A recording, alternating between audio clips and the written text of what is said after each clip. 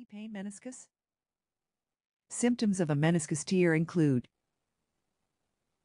pain in the knee and swelling, a popping sensation during the injury,